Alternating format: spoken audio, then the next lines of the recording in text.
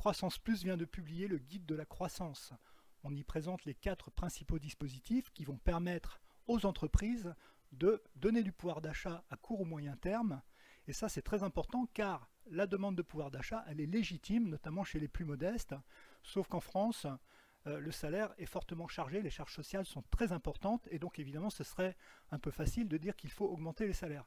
Là on a des dispositifs qui généralement sont hors charge pour l'entreprise et allégés d'une manière générale pour l'entreprise et pour les salariés et donc qui vont permettre de distribuer euh, la performance ou de partager la valeur tout simplement. Ce serait vraiment dommage de s'en priver.